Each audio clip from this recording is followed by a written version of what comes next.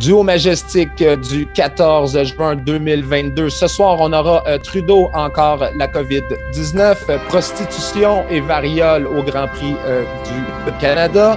On va avoir également la chute du château de cartes.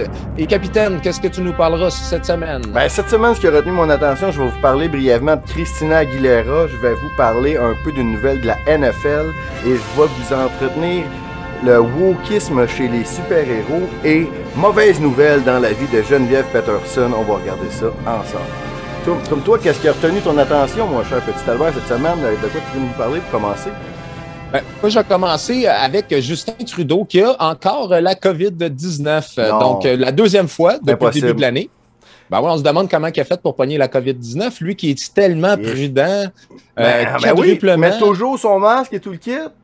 Ben, il n'y a pas toujours son masque. Hein? Ça y arrive des fois qu'il ne porte pas son masque. Là, euh, quand, quand, on, se souviendra, on l'a vu, euh, entre autres en Ukraine. Hein? Donc là, on a l'article ici. Justin Trudeau atteint de la COVID-19 pour la deuxième fois depuis le début de l'année.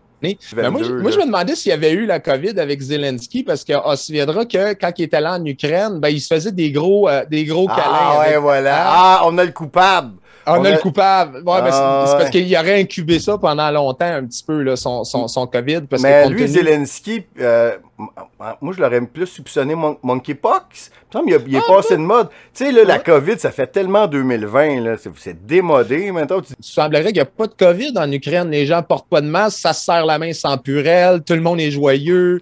Euh, et puis, ben là, on, on se demandait, moi, je me posais la question, est-ce que est-ce qu'il aurait échangé la même paille euh, que Zelensky, euh, peut-être pour euh, l'attraper comme ça, ou encore peut-être qu'il aurait échangé sa maîtresse.